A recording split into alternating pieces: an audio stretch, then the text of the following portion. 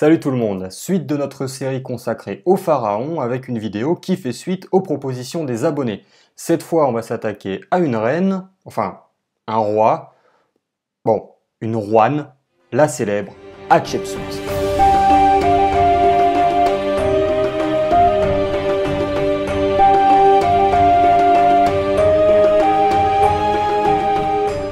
Commençons par le commencement avec les origines d'Hatshepsut. Hatshepsut est la fille de Toutmosis Ier, troisième roi de la 18e dynastie, au tout début du XVIe siècle avant notre ère. Ce roi, qui succède à Amenhotep Ier, n'est pas le fils de son prédécesseur, mais un proche de la famille royale, ce qui lui permet d'accéder au trône en dépit de son ascendance non royale. L'arrivée sur le trône de Toutmosis Ier crée donc une certaine rupture dynastique et a dû donner lieu à quelques troubles, même si ceux-ci semblent avoir été maîtrisés assez rapidement. Toutmosis devenu roi, sa femme Amès devient grande épouse royale. Hatshepsut, l'aînée du couple, devient alors princesse royale de fait, alors que sa naissance ne la prédestinait pas du tout à ce rôle. Hatshepsut se retrouve donc fille aînée du couple royal et a peut-être conçu dès lors une certaine ambition vis-à-vis du trône. En effet, il est possible que la jeune Hatshepsut se soit vue comme l'héritière légitime de son père Toutmosis Ier, même si une autre épouse de celui-ci, Moutneferet, lui a donné un fils, en l'occurrence le futur Toutmosis II. De plus, Toutmosis Ier semble avoir très tôt associé sa fille à l'exercice du pouvoir, en effectuant une longue visite de tout le pays en sa compagnie. Attention, on est loin d'une co-régence ou d'une véritable association au trône. Toutmosis semble avoir voulu montrer certaines choses à sa fille à travers le pays, mais il ne l'associe pas à sa pratique du pouvoir directement. Toutmosis reste le seul et unique pharaon. En l'an 7 du règne de Toutmosis Ier, Hatshepsut est mariée à son demi-frère, le futur Toutmosis II. Ah oui, euh, juste une chose. Là, vous allez manger du Toutmosis à toutes les sauces, hein, parce que Hatshepsut a partagé la vie de trois d'entre eux. D'abord comme fille, puis comme épouse, et enfin comme tante et co-régente. Alors, pas de panique, je vais essayer de rendre ça le plus clair possible. Mouillez-vous la nuque, respirez un grand coup, on y va.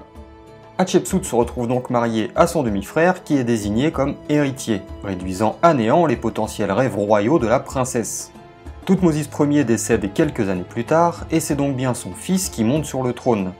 Hatshepsut a alors environ 22 ans, et elle se retrouve grande épouse royale. Certains suggèrent que le mariage entre Toutmosis II et Hatshepsut avait pour but de faire accéder cette dernière aux plus hautes sphères du pouvoir, tout en plaçant un homme sur le trône d'Égypte afin de ne pas bousculer les traditions, le clergé ou encore le peuple qui aurait pu voir d'un mauvais œil l'arrivée d'une femme à la tête du pays. C'est évidemment très difficile à évaluer, et même si ça reste possible, on n'a aucune trace de tel calcul politique. Mais quand on voit ce qu'a donné la suite des événements, on se dit que ce mariage, volontaire ou pas, c'était pas si mal joué. Quoi qu'il en soit, Toutmosis II ne règne que 3 ou 4 ans avant de mourir à son tour. Monte alors sur le trône l'un de ses fils, qu'il a eu avec une concubine nommée Iset. Ce garçon, qui n'a que 4 ans environ, devient donc Toutmosis III. Ah, je vous avais dit hein, qu'il y avait du Toutmosis partout. Bref, le roi est bien trop jeune pour gouverner tout seul, et c'est donc Hatshepsut, grande épouse royale et tante du jeune roi, qui devient régente afin de gouverner le pays au nom de son neveu, avant que celui-ci n'atteigne l'âge de devenir le pharaon à part entière. Je reviendrai plus tard sur les enfants naturels d'Hatshepsut lorsqu'on parlera d'un personnage un peu important pour le règne de la souveraine. Ouais, je suis comme ça, moi je laisse du suspense. Arrive alors l'an 7 du règne de Toutmosis III, alors que le roi n'a que 12 ans et que Hatshepsut se lasse de n'être qu'une régente aux côtés de son royal neveu.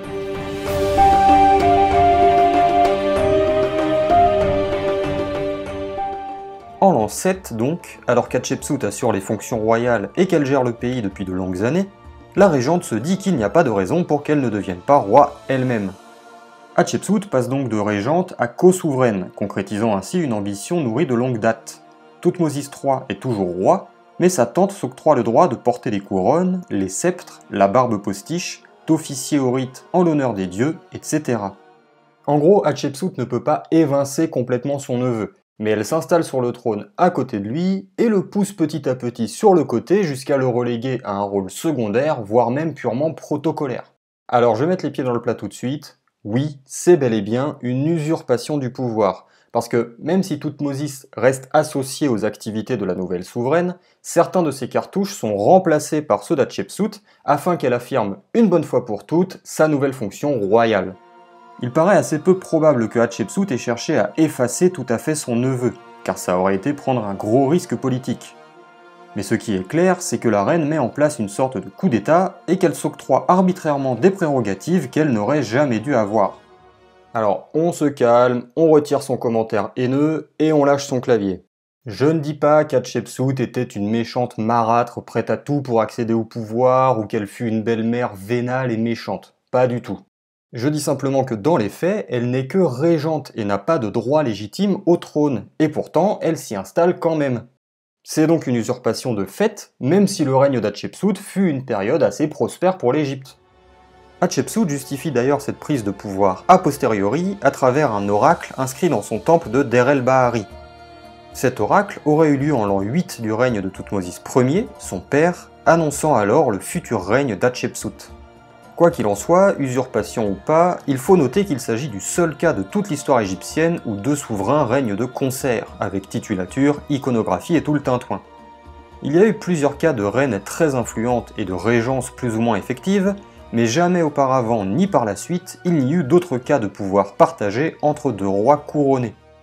Et quand je dis pouvoir partagé, c'est parce que même si au début Hatshepsut remplace certaines images et certains cartouches de son neveu par les siens propres, elle est obligée, notamment par une certaine partie de l'élite de l'époque, de réassocier son neveu à toutes ses activités afin de s'assurer notamment de la fidélité de ses sujets. D'ailleurs, les traces d'effacement de Toutmosis III par sa tante apparaissent dès l'an 5, soit deux ans avant que Hatshepsut ne se déclare roi à part entière. C'était donc un acte prémédité et préparé plusieurs années à l'avance. Quand je dis que Hatshepsut s'approprie les prérogatives d'ordinaire réservées au roi, cela se voit notamment dans l'iconographie, où la reine se fait représenter dans des contextes royaux comme les offrandes aux dieux, ou encore la cérémonie de couronnement, qui conclut une bonne fois pour toutes son accession à la souveraineté. Et qui dit souveraineté, en Égypte ancienne, dit titulature royale. Comme tous les pharaons depuis la 4ème dynastie, Hatshepsut se crée une titulature avec 5 noms. Le premier, le nom d'Horus, est Uzeret Kaou, celle qui est puissante en Kaou. Pour faire bref, le Ka c'est la force vitale, et à travers ce titre, Hatshepsut affirme donc sa toute-puissance en tant que reine d'Égypte et successeur du dieu Horus. Son titre des deux maîtresses, Nepti en égyptien, est Wajrenput, celle dont les années sont florissantes, un titre destiné à lui conférer de nombreuses années de règne. Puis vient le titre d'Horus d'Or, Necheret Haou, celle qui est divine en apparition. Ici, Hatshepsut affirme sa nature divine et donc sa légitimité à occuper le trône d'Égypte comme successeur des dieux qui ont eux-mêmes régné sur le double pays durant des temps mythiques. Le quatrième titre, celui de Nisut Biti, est le nom de couronnement, et il apparaît dans un cartouche. Celui d'Hatshepsut est Maat Kara. Maat est le cas de Ré. En gros, ce nom signifie que la reine se pose en garante de l'ordre cosmique établi par les dieux, et notamment le dieu solaire Ré. Maat correspond à l'idée de justice, de vérité et d'ordre, et Hatshepsut se pose donc en principale défenseuse de cet ordre établi. Enfin, le dernier titre, celui de fils de Ré, correspond au nom de naissance de la reine, en l'occurrence Hatshepsut, la première parmi les dames nobles. Notez que ce titre, comme les précédents, est mis au féminin, Zatra, fille de Ré. Hatshepsut s'octroie donc une titulature royale, mais continue de se montrer en tant que femme. On reviendra plus tard sur cet aspect féminin du règne, mais d'abord je voudrais m'arrêter sur un élément qui peut paraître anecdotique, mais qui n'est pas anodin vis-à-vis de l'histoire égyptienne. Pendant la corrégence entre Toutmosis III et Hatshepsut, et une fois que cette dernière a obtenu ses différents titres, les scribes et les artisans en charge de l'iconographie des temples et des tombes, par exemple, devaient inscrire deux fois plus de protocoles royaux qu'à l'ordinaire. En effet, puisque Hatshepsut était devenue roi mais qu'elle devait associer son neveu à toutes ses activités, chaque construction, chaque dédicace devait contenir les titres des deux souverains. Bref, bonjour le bordel et la place perdue. Mais c'est là qu'intervient une idée majeure pour l'histoire de l'Égypte et encore plus pour celle de l'égyptologie. Afin d'éviter d'avoir à écrire tout le temps les noms des deux rois, il fut décidé de résumer tout ça sous une seule appellation, Per A. Cette expression signifie littéralement la grande demeure, c'est-à-dire le palais. Et comme je l'ai déjà expliqué dans plusieurs vidéos, C'est ce nom composé qui a donné, via l'hébreu et le grec notamment, le mot pharaon que nous utilisons aujourd'hui pour parler des rois égyptiens. En gros, si on parle de pharaon aujourd'hui, c'est parce que Hatshepsut est devenue reine, enfin roi, enfin vous comprenez quoi, et qu'elle a poussé les scribes à trouver une solution face à la quantité de travail que représentait la gravure de deux fois plus de titulature royale. C'est donc assez paradoxal et amusant à la fois parce que Hatshepsut était non seulement une femme, mais en plus elle n'était pas destinée à régner. Et pourtant, c'est à son règne qu'on doit l'utilisation du mot pharaon pour parler du roi d'Égypte. Comme quoi.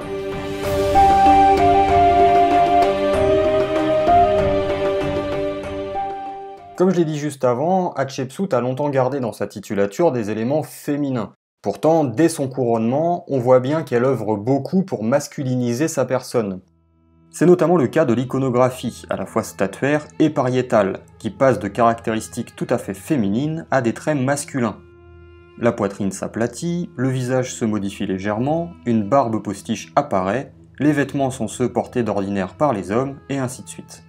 Mais ce changement ne se fait pas du jour au lendemain. Il se fait par étapes avec certains entre-deux que l'on peut voir sur les monuments de la souveraine.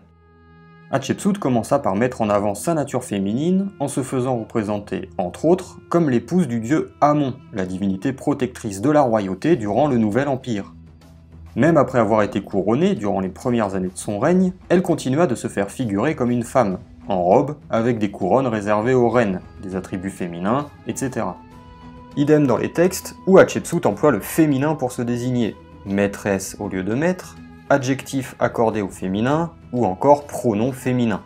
En somme, au départ, Hatshepsut assume sa qualité de femme et est une femme pharaon à part entière. Mais très vite, elle change son fusil d'épaule et passe au masculin, à la fois dans l'imagerie et dans les textes.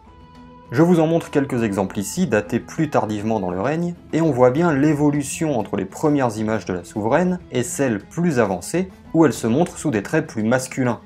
Comme on le verra à la fin de ces deux vidéos, certains ont voulu voir dans cette évolution une sorte de précurseur du mouvement queer notamment.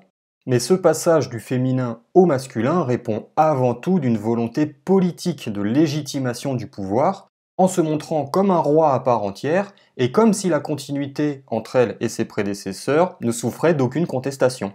C'est d'ailleurs une époque très faste pour l'art égyptien en général, avec à la fois une volonté de renouveau et un attachement à la tradition en allant chercher des motifs antérieurs, comme par exemple ceux de l'Ancien Empire. Si ça vous intéresse, je vous invite à aller voir l'interview par Laetitia Plessis de l'excellent Dimitri Labouri, qui est spécialiste de l'art égyptien notamment à la 18e dynastie et qui nous parle d'Hatshepsut et de son image. Le lien est évidemment dans la description.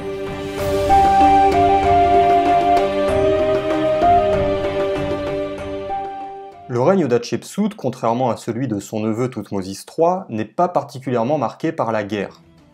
On connaît au moins une campagne militaire initiée sous Hatshepsut, campagne qui se déroula en Nubie, au-delà de la deuxième cataracte, en l'an 12. Hatshepsut ne semble pas avoir pris part à cette campagne, mais elle l'a probablement initiée. Les autres troubles ayant pu mener à des interventions égyptiennes se situent dans le Sinaï, comme à Serabit el-Hadim, mais il semble que ce soit alors Toutmosis qui en fut chargé, et non la souveraine. Contrairement à ce qu'on a pu lire parfois, je ne pense pas que cet aspect pacifique du règne d'Hatshepsut soit dû à la féminité de la souveraine ou à un manque d'éducation militaire. À mon sens, Hatshepsut a profité avant tout d'une situation calme en dehors des frontières de l'Égypte pour se consacrer à d'autres priorités comme l'affirmation de son pouvoir ou encore son activité de bâtisseur ou bâtisseuse. C'est d'ailleurs l'un des traits principaux du règne d'Hatshepsut, son intense implication dans les chantiers architecturaux un peu partout dans le pays. Dès avant son couronnement, alors régente, Hatshepsut s'attaque à divers chantiers, notamment ceux initiés par son père et son défunt mari, respectivement Toutmosis Ier et Toutmosis II. Elle fait ainsi ériger deux obélisques à Karnak, obélisques dédiés à Amon-Ré et que son époux avait commandé mais qu'il n'eut pas le temps de finaliser. La reine fit également rénover et agrandir certains monuments du Moyen Empire, et en particulier de la XIIe dynastie, qu'elle admirait. C'est par exemple le cas de temples nubiens comme à Bouhen ou Semna, dont on a parlé dans la vidéo dédiée à Sésostris III. Le lien est en description, abonne-toi, lâche un like, tout ça tout ça tu connais. Elle fit aussi bâtir sur l'île d'Éléphantine un temple dédié à Satet, déesse maîtresse de l'île. et un autre à Rnoum, le dieu potier à tête de bélier qui était à l'origine de la venue de la crue du Nil.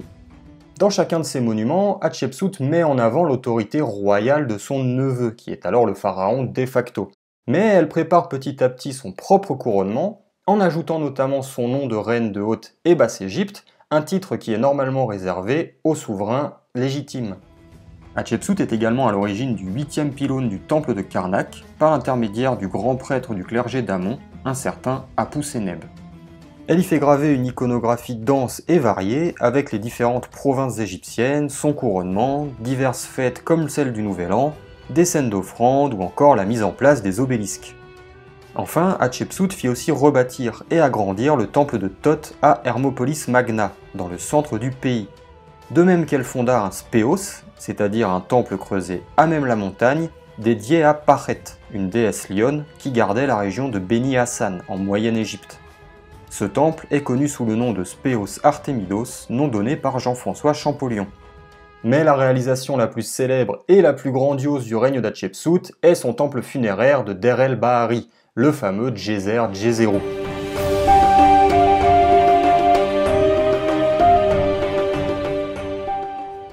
Le temple funéraire d'Hatshepsut est sans aucun doute l'un des éléments qui vient tout de suite en tête lorsqu'on parle de la reine. Situé dans la région de Luxor, non loin du temple de Karnak, il prend place sur le site appelé Der el Bahari, nommé d'après un couvent copte qui s'y trouve. Ce site, incontournable des voyages en Égypte, regroupe les temples de Montou et Thèbes II, de la 11e dynastie, d'Hatshepsut et de Toutmosis III. C'est donc un ensemble architectural grandiose.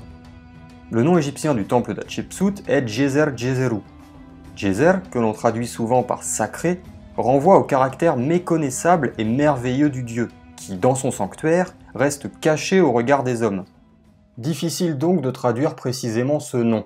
Certains ont proposé le Saint des Saints, mais ça n'est pas tout à fait satisfaisant. On le rend donc par la merveille des merveilles ou le sublime des sublimes. Mais ça reste des noms assez impropres à rendre le caractère éminemment sacré et ineffable du monument. Le temple est composé de trois terrasses servies par deux longues rampes. Il était précédé d'un long dromos d'environ 800 mètres, c'est-à-dire une grande allée avec plein de sphinx. Là, à côté du palmure, on va faire une grande allée avec plein de statues, qu'on appellera la grande allée avec plein de statues. Je vais me contenter de vous en donner une description très basique car je garde de côté une série sur les principaux monuments d'Égypte et on en reparlera donc au moment de sa vidéo dédiée. Pour faire bref, à l'époque, après avoir remonté le Dromos, on pénétrait dans la première cour d'environ 100 mètres de profondeur et pleine d'arbres exotiques et autres plantes diverses, comme un grand jardin à ciel ouvert. Puis venait une nouvelle allée de sphinx et un double portique donnant sur une zone destinée au déroulement de rites funéraires pour le jour où la reine viendrait à mourir.